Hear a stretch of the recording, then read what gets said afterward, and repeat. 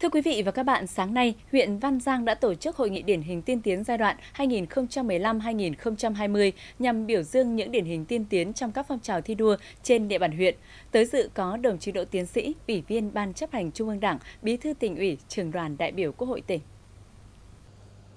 Giai đoạn 2015-2020, các phong trào thi đua yêu nước và công tác khen thưởng trên địa bàn huyện Văn Giang đã thu hút được sự tham gia hưởng ứng đông đảo cán bộ đảng viên và nhân dân. Điển hình như phong trào nông dân thi đua sản xuất kinh doanh giỏi, đoàn kết giúp nhau làm giàu và giảm nghèo bền vững, cả nước chung sức xây dựng nông thôn mới. Từ phong trào thi đua đã xuất hiện nhiều mô hình tập thể cá nhân điển hình trên các lĩnh vực như các ông Phan Ngọc Oanh, Lê Văn Truyền, Nguyễn Ngọc Hàm ở xã Xuân Quan với mô hình trồng hoa chất lượng cao. Đoàn viên Cao Đức Dương, công ty cổ phần tập đoàn Merap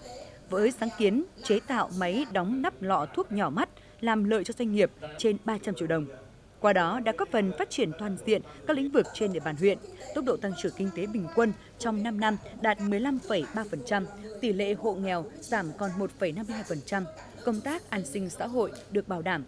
Hàng trăm lượt tập thể cá nhân được các cấp ngành khen thưởng, trong đó có 3 huân chương lao động hạng 3, 2 bằng khen của Thủ tướng Chính phủ, 12 cờ thi đua xuất sắc của Ủy ban nhân dân tỉnh. Phát huy những kết quả đạt được, trong giai đoạn tiếp theo, huyện Văn Giang tiếp tục quán triệt chỉ thị của Bộ Chính trị về tiếp tục đổi mới, đẩy mạnh phong trào thi đua yêu nước, hưởng ứng phong trào thi đua cả nước chung sức xây dựng nông thôn mới, giải quyết đầy đủ kịp thời các chế độ chính sách xã hội. Nhân dịp này, Ủy ban nhân dân tỉnh tặng cờ thi đua cho nhân dân và cán bộ huyện Văn Giang vì có thành tích xuất sắc cho phong trào thi đua khối thi đua các huyện thị xã thành phố trong năm 2019 nhiều tập thể cá nhân có thành tích xuất sắc trong các phong trào thi đua yêu nước được Ủy ban nhân dân huyện biểu dương khen thưởng.